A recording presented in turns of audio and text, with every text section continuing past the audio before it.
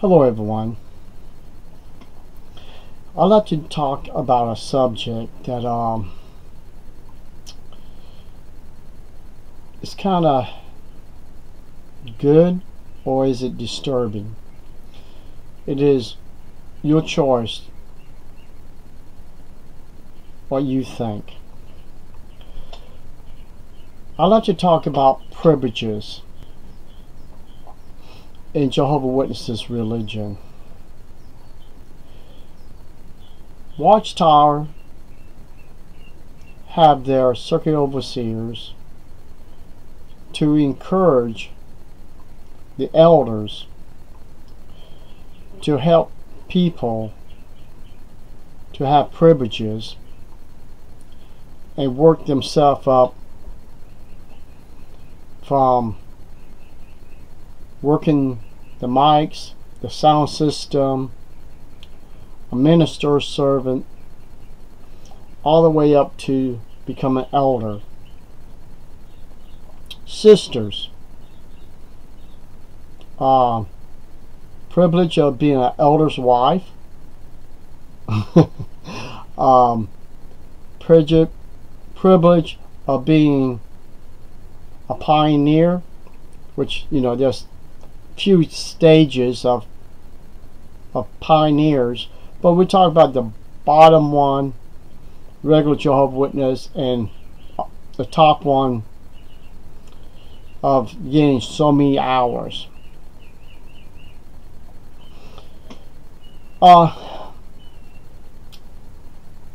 is privileges a good thing?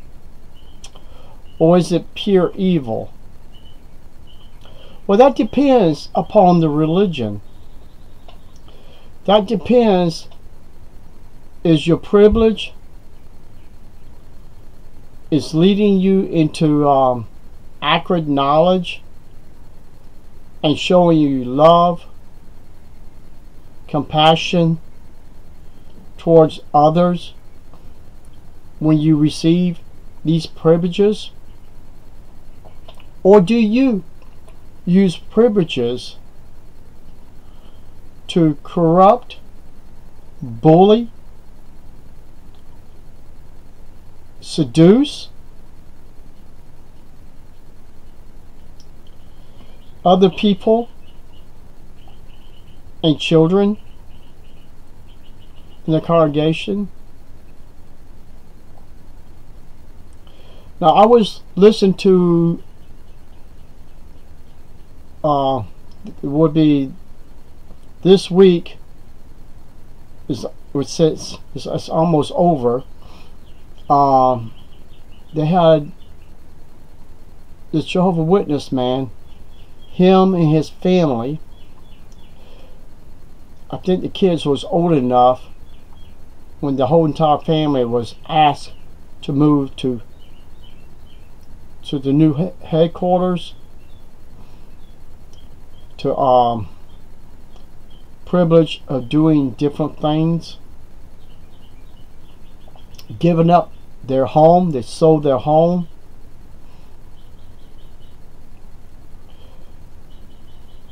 People, how stupid does this sound?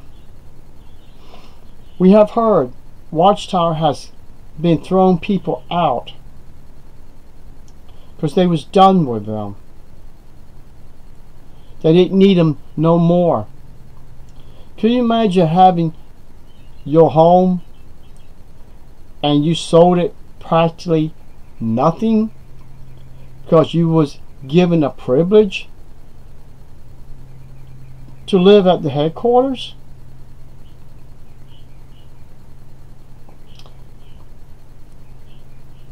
This is not a good thing, people. It's not what God wants us to do. To join a false religion, to give up our homes, our freedom, our hearts, to join Watchtower and these other false religions.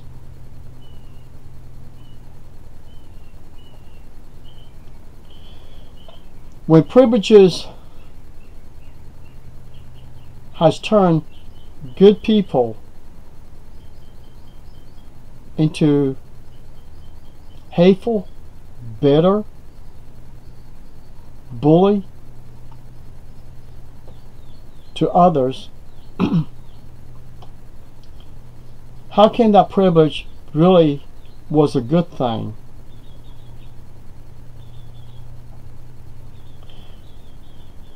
Does being a, a special pioneer stop you from making yourself as who you are. Now you have more time you have to use to get all your hours in. I don't think God and Christ would want a person to put in so many hours a day knocking on people's doors.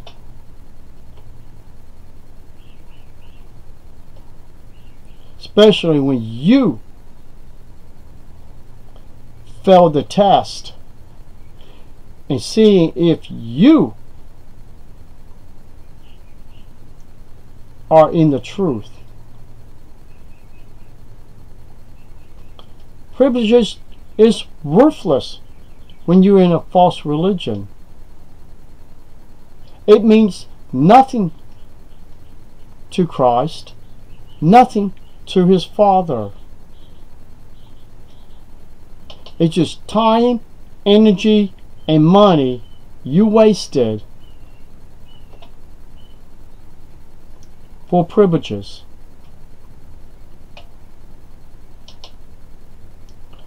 we have heard about elders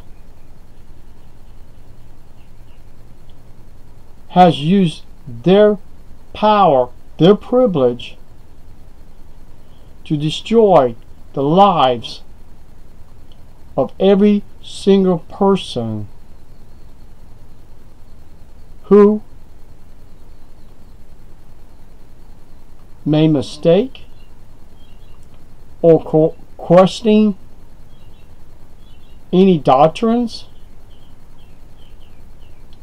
questioning about this other elder is uh, doing something illegal, and that elder was this elder's best friend. See, people, privileges don't mean crap. If it's not from the heart the true heart, not watchtower, dark heart, fantasy heart, because it's not going to get you nowhere when Christ comes back or the government steps in and literally shake your cage to get you to stop believing this nonsense Jehovah Witnesses supposed to be the true religion. Every religion supposed to be the true religion. But everyone has the, their own doctrines, their lies, their cover-ups, and like I mentioned in my last video, the internet was designed and put in motion for man to create it to give almost their members one last chance to wake up to examine their religion their doctrines, the hidden secrets the watchtower keeps sweeping underneath the carpet.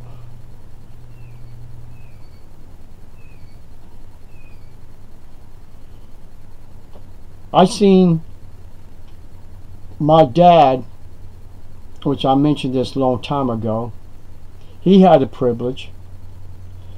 He was the one that was taking the money for the literature. And when brothers and sisters that didn't have the money, since some of them was regular pioneers, he pulled money out of his own pocket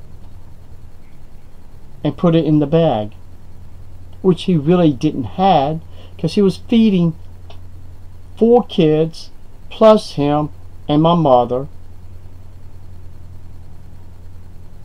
But he did out of his heart because he thought that Jehovah would bless him by helping the brothers and sisters to go out door to door, the ones who couldn't afford the magazines.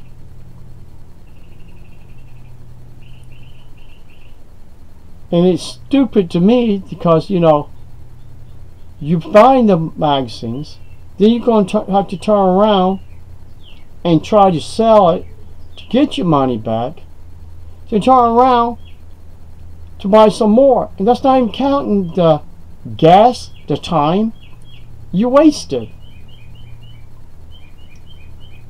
But see, there was some people was telling other people that they didn't have to pay for the literature.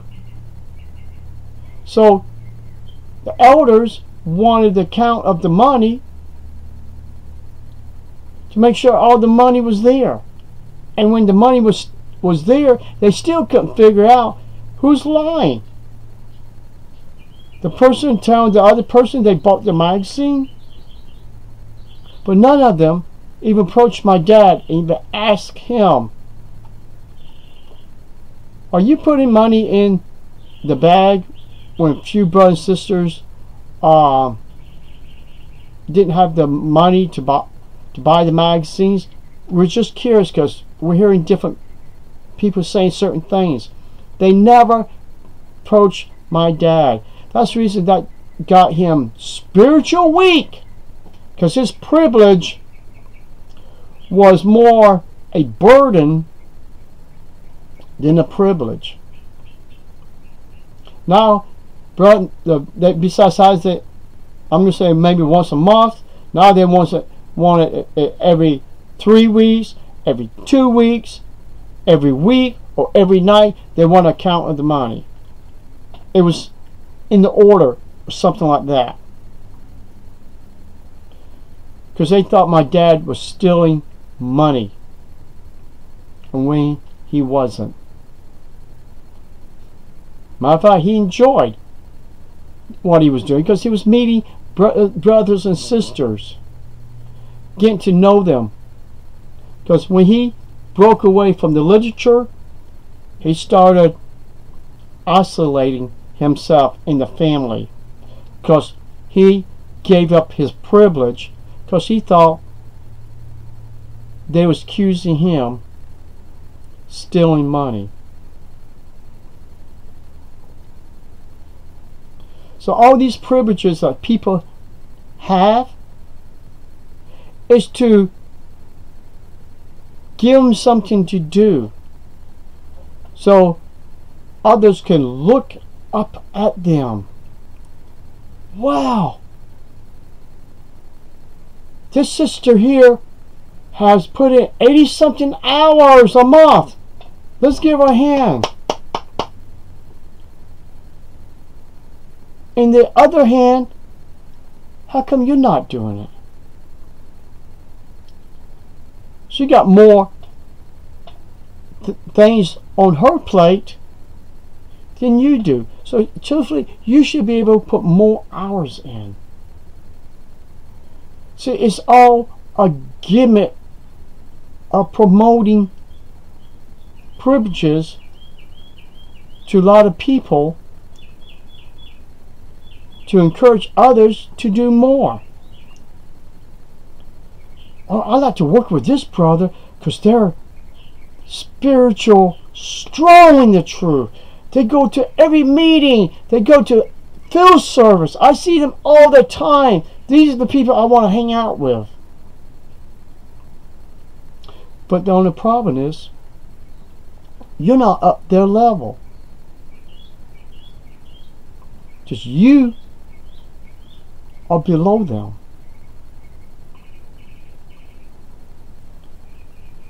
Christ didn't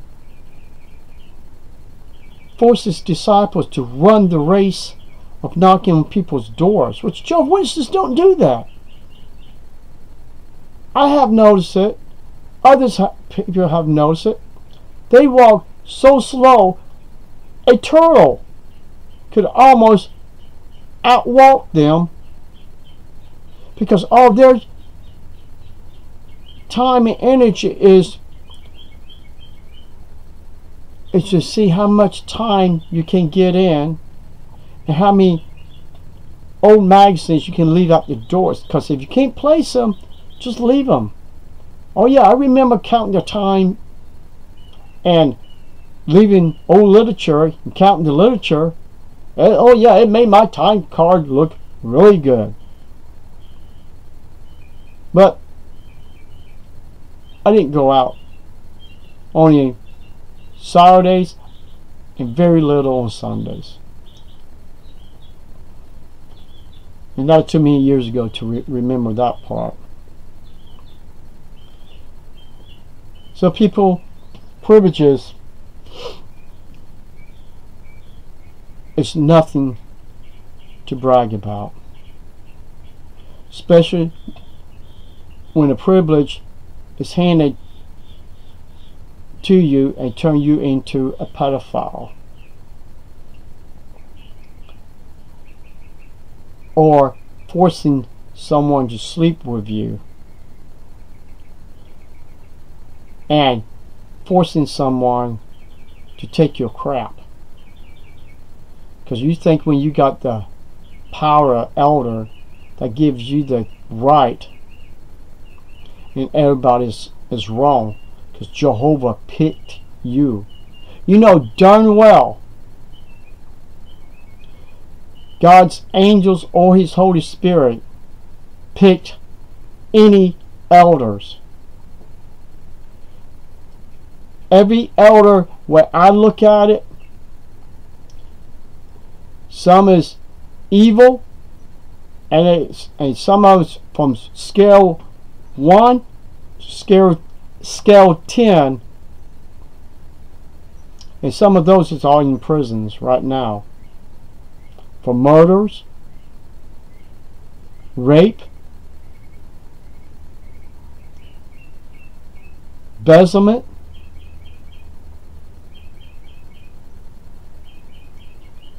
So how did these privileges that were supposed to be good from Watchtower corrupt every Jehovah Witness? I handled the microphones. I handled the sound system. I didn't want to go no further. Because I seen how corrupt bunch of them were.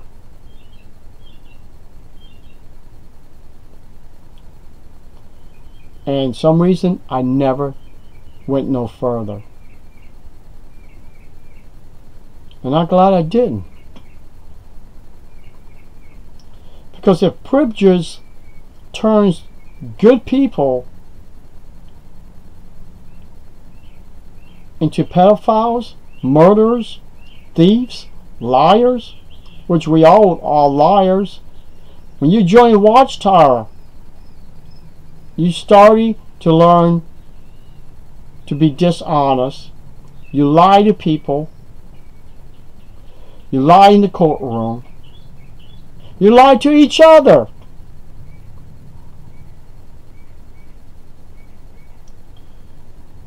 And you call this God's organization. Wow. No wonder the smart ones leaving Watchtower, but the ones who's leaving also leaving part of their heart behind, their loved ones, their friends. And that's the hardest part. And that's what Christ's words was. Are you going to pick your family over me? Are you going to pick your religion when your family is in that false religion over me? Now, he didn't say those exact words, but you get the point of what I'm trying to say.